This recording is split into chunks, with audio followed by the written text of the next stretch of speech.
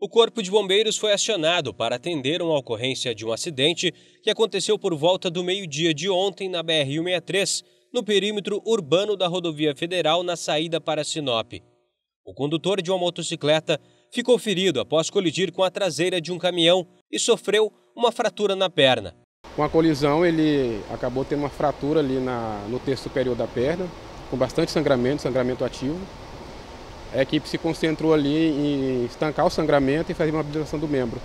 Ele reclamava também de bastante dor, é, a equipe de enfermagem é, já fez analgesia, só que no geral ele está consciente, orientado, veio conversando com a gente até aqui o, o hospital. Ah, o problema maior dele é só a questão da fratura na perna mesmo. Segundo os socorristas, a vítima estava orientada e disse seu nome e sua profissão, demonstrando estar lúcido. Entretanto, perguntado ele disse não se lembrar do momento do acidente. A vítima foi levada para atendimento médico e as causas do acidente ainda serão investigadas.